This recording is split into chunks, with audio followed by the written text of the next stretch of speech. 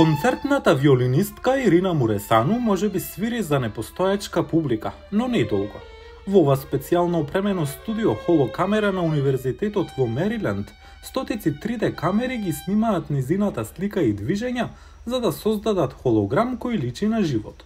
Незиниот холографски близнак потоа може да се стави виртуелно во кој било амбиент, така што некој со слушалки за виртуелна реалност може да се чувствува како да ја гледа во живо. Во овој прототип, Муресано, која исто така е вонредна професорка по виолина на универзитетот, се чини дека настапува од позната концертна сала во Романија. One of the pieces we recorded Едно од делата што ги снимивме беше на најпознатиот романски композитор Жорж Енеску. Мојата желба беше јас или мојот холограм да биде поставен на сцената на романскиот Атенеум. Ангажиравме екипа да ја сними концертната сала за да ме види на сцената. Покрај личното предавање, Муресано верува дека технологијата холокамера еден ден ќе помогне да обезбеди подобри виртуелни лекции за нејзините студенти во странство.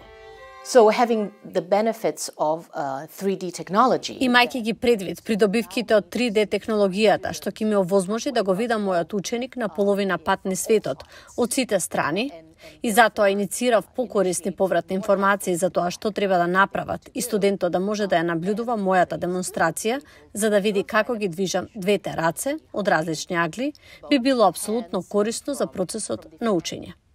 Проектот беше развиен од Амитап Варшни и неговиот тим на Универзитетскиот коледж за компјутерски, математички и природни науки.